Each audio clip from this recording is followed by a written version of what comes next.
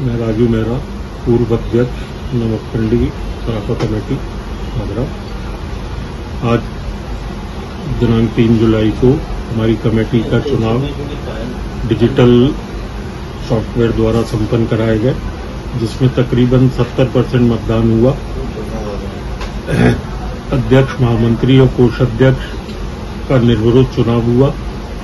बाकी तेरह जनों का कार्यकारिणी में चयन हुआ।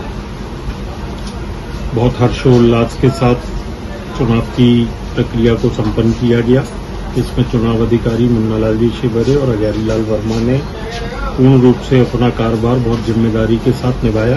का गठन होने के बाद एक शपथ ग्रहण समारोह होगा, जिसमें सभी को उनके पदों से विभूषित किया जाएगा।